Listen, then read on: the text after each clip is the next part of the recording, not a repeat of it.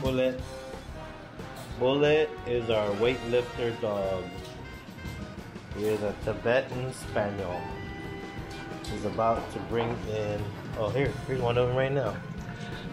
Uh, this is a. Oh, it's a three pound dumbbell. You ready for this bullet?